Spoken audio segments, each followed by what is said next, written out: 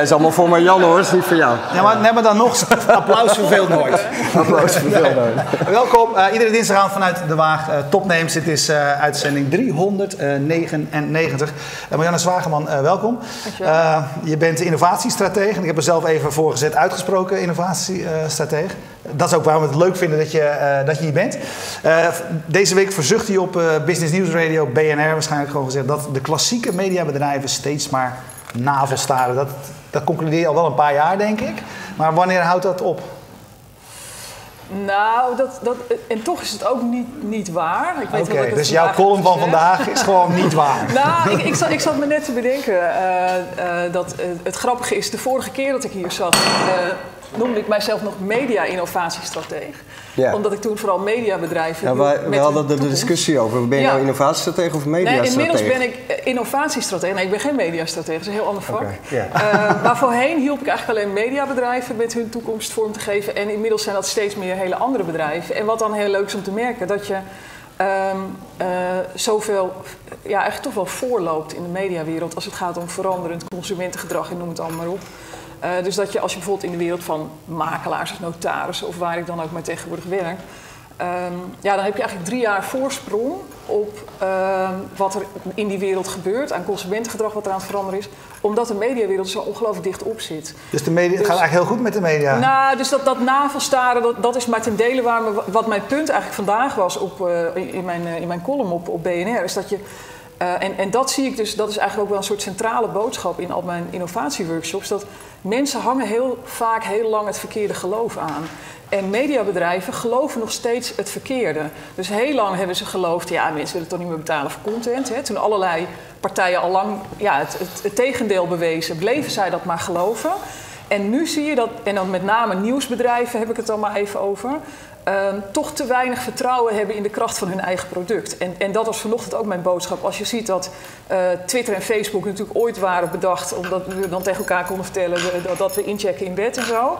Eh, en inmiddels zijn dat natuurlijk eh, nieuws- en entertainmentplatforms geworden. Dat heeft niks meer te maken met kattenfilmpjes en, en babyfoto's. Dus eigenlijk het core product van nieuwsbedrijven, van, van mediabedrijven, van journalistieke bedrijven...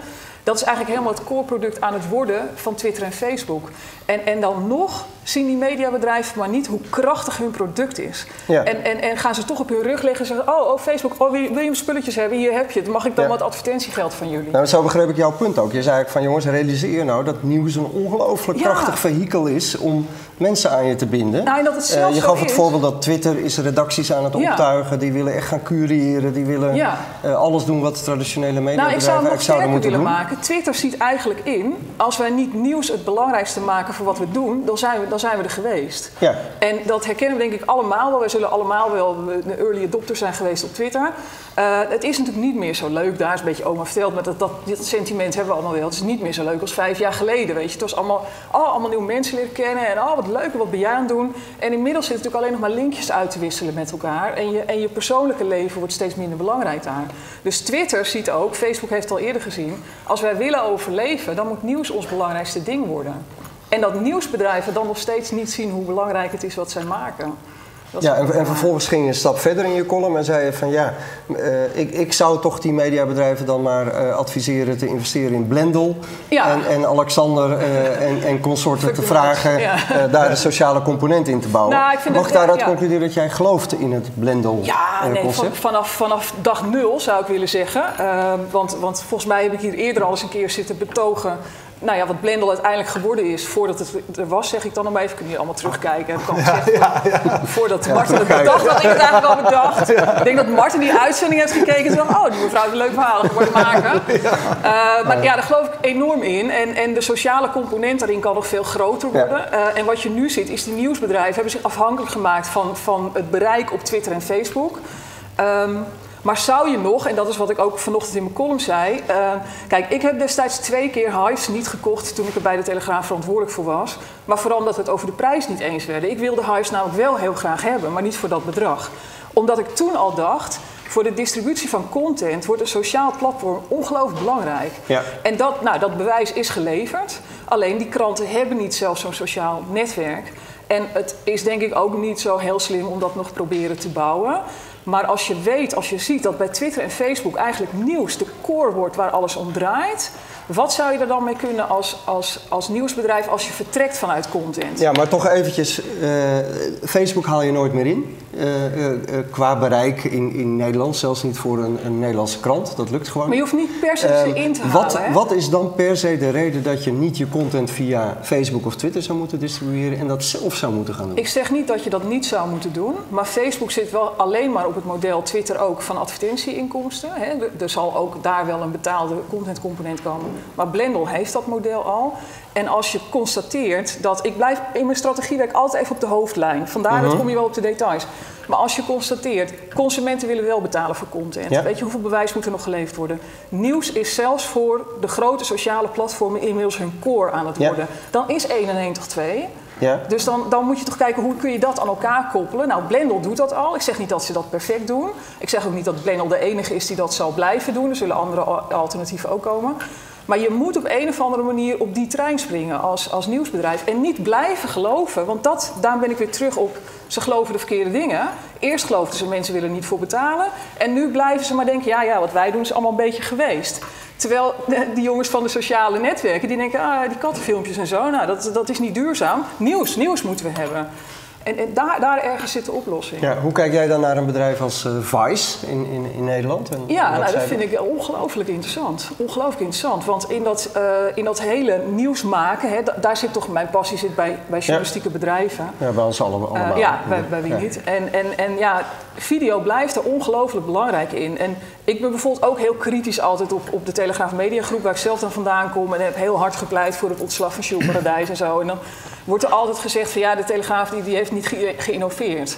Dat is, dat is zo ongelooflijk niet waar als er één mediabedrijf, één krantenbedrijf is. Dat juist heel erg heeft geïnnoveerd, met name in dat stuk waar het belangrijk is, namelijk video. Er is geen enkele andere krant waar ze echt een volwaardig tv-productiebedrijf in huis hebben. En, en, en, en daar zie je natuurlijk wat Vice doet, gewoon de, de documentaires en, en goed eh, videomateriaal. Maar vind jij dat goed? Want ik vind dat juist eigenlijk altijd slecht. Want wat ze aan het doen zijn, is hetzelfde. Ze zijn eigenlijk televisietje aan het spelen. Ja, maar ik heb het niet zozeer over, over Telegraaf TV. Oké, want daar kijk ik namelijk wel eens naar. En dan denk ik, ja, weet je, jullie proberen televisietje te spelen. Ah, daar, word, daar word ik ook niet heel enthousiast van in de uitvoering. Maar eh, er is ook niet helemaal overgebleven of, of geworden wat, wat ik er ooit mee bedoelde toen ik het oprichtte, die tv-tak. Ehm, maar daar zat gewoon een volwaardig tv-productiebedrijf. Dat bijvoorbeeld ook voor Omroep Max, voor de Tros, voor SBS, maar ook voor WNL alle programma's maakte. Nou, daar heeft het Commissariaat voor de Media volkomen onterecht een stokje voor gestoken. Dat is to- totaal belachelijk. Hè? Dus onze man in Teheran die heeft nu de Nipkoff-schijf gewonnen. En dan wordt er in de motivatie gezegd... ja, het is ook vooral heel interessant dat het programma ook is uitgezonden bij de New York Times.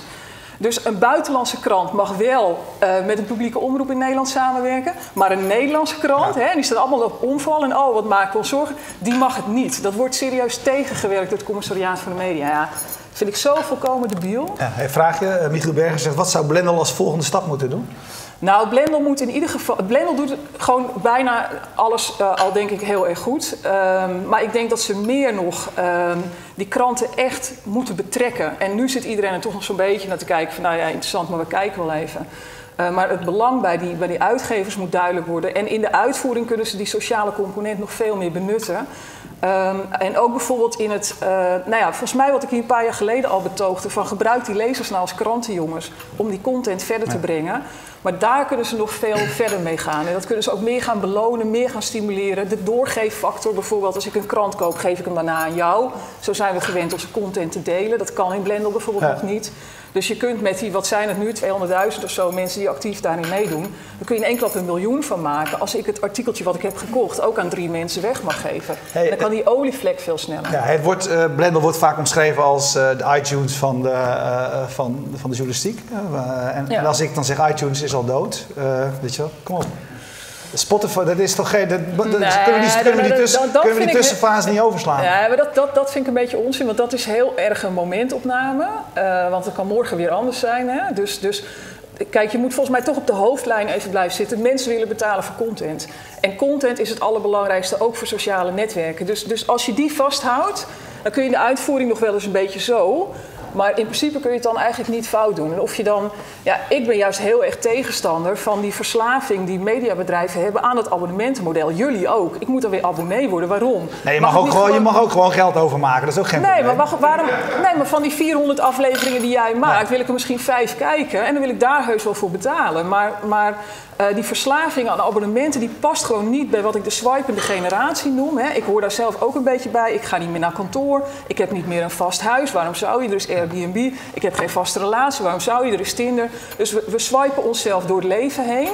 Eh, maar mediabedrijven willen maar gewoon, nou, wat ik laatst ook een keer zei, van ik wil gewoon een plakje, maar ik moet de hele koe, die koe wordt door mijn strot geduwd. Ja, Ook dus jij, jij gelooft uiteindelijk, jij gelooft dus uiteindelijk Ook bij veel meer. is niet helemaal Jij gelooft dus Al die uitzendingen kun je gratis bekijken. Nou ja, jij dat gelooft- vind ik helemaal. Nee, voel je nou niet zo dat- aangevallen. Jij gelooft dus niet? uiteindelijk veel meer in dat, in dat eh, eh, on-demand, het pay-per-view eh, model. Ik geloof dat je de consument moet volgen. En als de consument, als de consument steeds minder vast wil leggen op alles. Hè? We leven in een maatschappij vol bindingsangst. Niemand wil zich eigenlijk meer vastleggen. En ehm, ik zeg dat bijvoorbeeld ook tegen makelaars of notarissen. Die zitten in de industrie van de binding. Die willen heel erg mensen met contracten aan elkaar verbinden. En, en, en, en dat is echt tegengesteld aan waar de maatschappij heen ontwikkelt. En daar moet je in mee. Ja. En als je dan als uitgever nog steeds zegt... oh, jij wil, jij wil een plakje, maar ik verkoop alleen een koe. Weet je, dat is hetzelfde. Ik zeg altijd, die uitgevers moeten hele goede content retailers worden. Er is Ja. nog niet één in de hele wereld die dat goed doet. Ja, maar nou heeft de Bram Koster op Twitter eh, wel een punt. Blendel is natuurlijk geen mediabedrijf, maar een softwarebedrijf. Prima. maak- maken zelf totaal geen nieuws, content. Dus dat model is allemaal wel leuk. Maar Ja, hoe, hoe maar financier je nou uiteindelijk de, de Ja, maar productie dat is van die precies wat content? ik bedoel. Dat is, dat, is, dat is waarom ik vind dat die, dat die aandeelhouder, of die eh, kranten er allemaal als aandeelhouder in zouden moeten stappen. Omdat uiteindelijk kranten kunnen niet zelf een technologiebedrijf worden. Dat past gewoon niet bij hun DNA. Dus dat moet je buiten de deur parkeren. Als je dat als krant zou Zeg je willen. dat niet veel te makkelijk? Je ziet tegenwoordig overal bedrijven die eigenlijk zeggen van ja, we hebben geen toekomst in wat we waren. We worden een softwarebedrijf, onvermijdelijk. Ik denk dat heel veel dat gewoon echt niet kunnen. En ehm, als je wilt innoveren, dan moet je altijd daar naartoe waar je nog niet was. En, en dat is ook eigenlijk de belangrijkste boodschap in mijn, in mijn innovatieworkshops. Dan, ik, mijn eerste vraag is altijd: oké, maar waarom willen jullie innoveren? En ik krijg nooit het goede antwoord. Ik krijg nooit Wat het is het antwoord. goede antwoord? Het goede antwoord is: oké, ik doe nu dit, maar ik, ik zie mogelijkheden na. Mijn hoofd ploft uit elkaar. Als ik zie de kansen, de technologie, de veranderende maatschappij, wow, ik wil daarheen. Ze willen nooit daarheen. Ze willen de winst vasthouden of, of het nageslachte, een toekomst, weet ik veel Ja, wat ze willen. defensief. Maar het is nooit de goede motivatie. Het is altijd een bedrijfseconomische wens en het is nooit vanuit wow, ik zie kansen en daar wil ik heen. En, en, en, en dat zou je motivatie moeten zijn. En, en als dan ehm, je niet een geschiedenis hebt in technologie en het zit ook echt niet in je DNA, dan ga je daar nooit goed in worden. Hé, maar hoe haal jij lol uit die eh, innovatiesessies van je? Kom op, die accountants die gaan ook niet naar huis straks en dat ze het wel gaan doen. Dus je verdient ermee, mooi, weet je Ja. wel. Maar waar, waar word je gelukkig van als je dit doet? Ik word daar heel gelukkig van. Omdat, weet je waar ik gelukkig van word? Ik zag, Als je laatst, ik zag laatst een foto van jou ergens op een of andere steiger met 18 mannen in pak. Ja, dat En is wel heel met- in pak. Ja. En dan stond jij dan zo tussen. Ik denk, heb je, Nou, maar dat ik- was bijvoorbeeld een hele mooie maar sessie. dan heb je een hele leuke dag gehad. Ja, want toen was ik bijvoorbeeld ingehuurd door een, door de grote kopie- kopieermachinefabrikant. Ja, precies. Dat was een Rico en, of en, zo. eh, Xerox. Xerox. En, en, eh, en, die, en die, die hadden dan al hun klanten uitgenodigd. Nou, die klanten die gaan natuurlijk allemaal failliet en die vallen om. Want ja, die hebben fabrieken vol kopieermachines. Ja. Waar En papier... niemand wil ze. Nou ja. En, en hadden mij dan ingehuurd van, goh, die, die- uiteindelijk moeten ze natuurlijk nog minimaal één keer zo'n machine kopen. Dus om ze een beetje het gevoel te geven dat ze nog, nog een toekomst hebben. En, en dan begin ik dus bijvoorbeeld ook echt met dit verhaal. Dus dan, dan, dan, dan loop ik ook door die zaal en dan vraag ik dat ook. Eerst vraag ik, wie doet er hier niet aan innovatie? Nou, dan gaat er nul, nul vingers in de lucht. Want nee, iedereen doet innovatie. Ja, dat is bij ons een continu proces. Nou, vooral iemand die dat dan roept, die is meteen aan de beurt. En, en dan vraag ik dat ook. Van, Ja. oké, maar vanuit welke motivatie doe je dat? Ja, passie voor innovatie. Maar ik krijg, ik krijg dan ook meteen nooit het goede antwoord. En als ik dan zie dat zo'n zaal stilvalt... en het wordt zelfs wel eens emotioneel ook. En ehm, ook omdat ik ze dan... En, en daar haal ik dan echt heel veel voldoening uit... dat ik ze dan ook eh, voorhoud... het hoeft niet, hè? Het hoeft niet. Je kunt ook voor het sluitingsceremoniemodel gaan. Als jij eh, als land de Olympische Spelen krijgt toegewezen. Nee, maar dat is een hele serieus. Als jij de Olympische Spelen krijgt toegewezen, of de EK voetbal of WK voetbal, dan weet je één ding zeker: over acht jaar zijn we allemaal werkloos. vallen de stadions weer in elkaar. Dus we gaan acht jaar aan de slag en daarna is het voorbij. En toch zijn die mensen niet met hangende schoudertjes van, nou ja, waarom ben ik dit aan het doen? Of ach, joh, ik heb geen toekomst meer. Nee, de sluitingsceremonie is altijd de mooiste dag van het evenement. En zo kun je hem ook insteken. Dus dan zeg ik ook tegen die man: je kunt ook gewoon zeggen: Oké, ik heb nog één keer zo'n ding bij Xerox. Ik reken dat even goed door. Over acht jaar alles afgeschreven. Strik erom, hut Klaar. verkocht. Tegen Ja. mijn kleinkinderen zei: "Joh, Opa gaat wat anders doen. De, de familienaam houdt op te bestaan. Je, je hoeft niet Nee, te je kunt ook constateren dat jouw bedrijf de tijd overleefd heeft en dat het klaar is. Nou ja, kijk, mensen streven altijd naar dat het langer moet duren, maar waarom? Ja. Ik kan niet één ding noemen dat beter wordt als het langer duurt. Dus waarom moet het altijd lang duren? Waarom kan je niet gewoon zeggen, over acht jaar of vier jaar of zes jaar Ja. stop ik ermee? Ja. En als ik dan zie dat daar zo'n man zit van 54 of zo, die dan eigenlijk met een soort van tegenzin aan het innoveren was. En hij wil niet, maar hij denkt, ja, ik moet toch wat. En, die, en, en ik zie die opluchting bij zo'n man. Dat denkt, ik, ik zie gewoon emotie. Ik zie zo, zo tranen. Echt, nou, daar, haal, ja, daar haal ik heel veel voldoening Nou, uit. Stekel, ik ben 54, maar na deze opmerking ben ik ook opgelucht. Het hoeft niet. Zo zo'n man aan het huilen brengen. Dat is toch het mooiste wat je kunt doen. En dan krijg je nog geld voor ook. Fantastisch. Hey, nee, nog, nog één ding, laatste vraag wat mij betreft. Je begon met te zeggen dat we in de, me- eh, in de media eigenlijk best veel voorop lopen als je Ja. vergelijkt met die andere sectoren. Ja. Dat kan ik nog niet helemaal plaatsen in het verhaal wat je Nou, nu vertelt. vooral Want, in- in- want je bekritiseert ze doorlopend, er gebeurt niks, ze investeren niet in blendels, houden vast aan de oude modellen. Er gebeurt van alles, maar eh, de visie klopt niet. Dat is eigenlijk Nou, wat je nee, zegt. ja, ze houden precies. vast aan de dogma's van vroeger. Ja, maar waar ze voorop lopen, is dat ze veel eerder dan een heleboel andere bedrijfstakken te maken hebben met die veranderende consument. Ik vind Netflix altijd zo'n fantastisch voorbeeld. Dus, dus weet je, hoe snel is dat gegaan? Hoe is het mogelijk met eigenlijk zo'n kleine marketinginspanning, gewoon 700.000 of 1 miljoen abonnees in Nederland, hoe is het mogelijk? Hoe snel gaat dat? En tegelijkertijd wordt er dan gezegd, ja, ja, alles gaat tegenwoordig zo snel. Dat is niet waar. Ik bedoel, YouTube is er al tien jaar, weet je, hoe snel gaat het? Maar, maar toch, die, die, die, dat veranderende consumentengedrag. Ja, in de mediawereld is die impact gewoon heel veel groter dan in een heleboel andere branches. En dan kan je, zoals ik, als je daar vandaan komt en je volgt het nog elke dag op de voet. En je staat dan voor een groep notarissen bijvoorbeeld. Ja, dan merk je dat je een enorme voorsprong Ja, hebt in begrijpen waar, waar gaan dingen naartoe. Tot slot een vraag van Twitter, eh, van Mark de Kok. Is, eh, Er zitten alleen maar mensen in de zaal hier ja, te tuurlijk, dat geeft toch helemaal niet. Dat hebben we ook Kijkt er gewoon helemaal niemand. Dat, he- dat hebben we ook tegen ze gezegd. Je mag alleen maar, als je een vraag wil stellen, moet via Twitter. Ja. Dus is innovatie gelijk aan ondernemerschap in de definitie die jij net gaf? Innovatie is namelijk enthousiast worden van de mogelijkheden die je allemaal ziet. Nee, innovatie heeft voor mij maar met één ding te maken. En dat is ook echt mijn motto. Je wilt verder naar waar je nog niet was. En dat kan je op je privéleven toepassen. Dat kan je op je volgende vakantiebestemming toepassen. Of, of op wat dan ook. Maar daar begint het ook wel in een bedrijf. Wil jij daar naar waar je nog niet was? En als je dat niet wilt, je wilt alleen maar de winst vasthouden. Stop dan maar. 75% van de innovatie is mislukt. Daardoor. Daardoor. Je moet zelf echt ergens anders naartoe willen. Hey, Stekel, bij dit soort dingen gaat altijd van iedereen heeft dan een laatste vraag. Jij hebt net jouw laatste vraag gehad, ik heb nu mijn Daarom hou ik nu mijn Ja. Ja, dit was hem, hè? Ja, nou, nee, die komt nu nog. Bram Koster, nou, ik vind hem- hij is wel interessant natuurlijk. Hij zegt, waar, waar zit jouw eigen eh, innovatie? Wat doe jij anders dan een jaar geleden? Eh, ik ben nu bijvoorbeeld eh, eh, eh, zeer overtuigd economisch mobiel. En eh, gek genoeg kwam ik daar een soort van per ongeluk achter. Ik zat, ik zat op Bonaire en, en eh, jullie volgende gast die, eh, die zit daar Zit ook regelmatig. Nou, Ja. daar ga je echt dood van verveling. Eh, dus ik, ik zat daar de kerst te ontvluchten en was daar gewoon lekker aan het werk. En toen dacht ik, hé, hey, dit is wel bizar. Ik zit mijn BNR-column hier op te nemen en ik zit hier gewoon alles te doen. En, en, en, en toen drong eigenlijk tot mij door, ik heb al die vrijheid. Ik hoef nooit meer naar kantoor, ik heb geen, geen vast... eh, eh, nou ja, niks is in mijn leven is vast eigenlijk. Ik, wou zeggen, ik heb geen vaste relatie, dat had ik toen wel, maar de dingen gebeuren en zo. En eh, toen dacht ik, wacht even, waarom, waarom werk ik altijd in de ijsbreker als ik gewoon... Ik kan, ja, kan ook aan het strand zitten gewoon. Er is altijd wel ergens een strand waar het fijn is. En eh, dus toen heb ik tegen mezelf gezegd, daar op Bonaire was in december vorig jaar. Ik, ik, ik moet die vrijheid die ik heb, die, die economische mobiliteit, ik kan eigenlijk overal werken waar wifi en mijn laptop is. Eh, het kan niet zo zijn dat ik al die vrijheid heb en dat ik dan in Bussum woon en in Amsterdam zit te werken. Dat kan niet waar zijn. Als ik overal in de wereld zou kunnen werken, waarom is het dan hier? en, eh, en, en dus heb ik nu vier maanden eh, veel in Spanje gezeten, want, want het Caribisch gebied is, is toch wat onpraktisch om allerlei redenen. Dus dat, dat is, en ik heb mijn huis nu verhuurd, dus ik, ik leid echt een zwervend bestaan. Ehm, dus ik, ik wil eigenlijk kijken hoe ver rekt die vrijheid precies.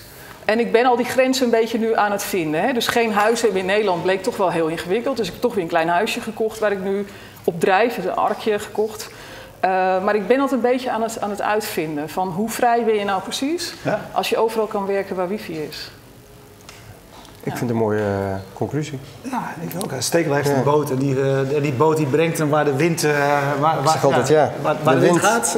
Ja, maar dat vragen mensen dan wel eens van mij. Zeggen, waar ga je dan naartoe? Zeg, oh ja, waar de wind mij heen blaast. Ja, Dat- nou ja, Ja, dat, dat is hebben van jullie, ja, dat hebben jullie op zijn minst Ja, gemeen. Hey, ontzettend bedankt. Eh, als je nu thuis live kijkt, eh, bedankt voor het kijken. Maar blijf eh, kijken. Zo direct is hier Ruud Hendricks de gast. Eh, kijk je on demand, dan weet je dat je die uitzending ook eh, kunt terugvinden via fastmovingtargets.nl of via eh, YouTube. Dank aan Streamzilla uit Groningen die al vier jaar lang zorgt dat eh, deze uitzending live eh, thuis te kijken is. En tot zo. Dag.